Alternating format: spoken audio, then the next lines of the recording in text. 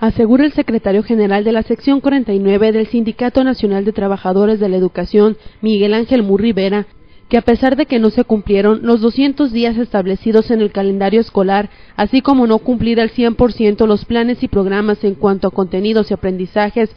debido a la contingencia sanitaria que se presentó en todo el país, sí obtuvieron aprendizaje tanto alumnos, maestros y padres de familia en cuestión de higiene y salud.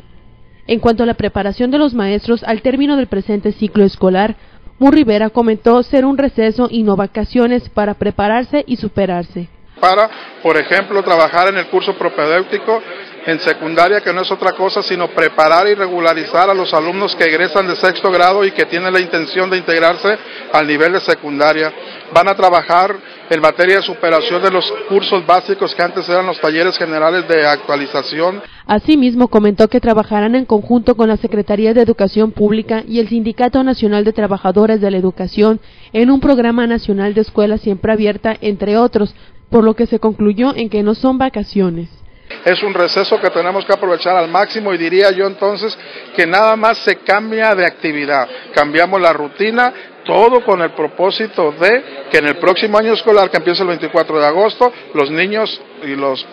maestros tengan condiciones óptimas y favorables para el desarrollo de su trabajo. Añadió el dirigente de los maestros, que son tanto el sindicato como la Secretaría de Educación, quienes ofrecen estos programas alternativos de cursos y diplomados, con el objetivo de que el profesional de la educación se integre a los mismos. Con la intención de ser mejores en el desempeño de nuestro trabajo y para mejorar, por supuesto, la calidad del servicio educativo.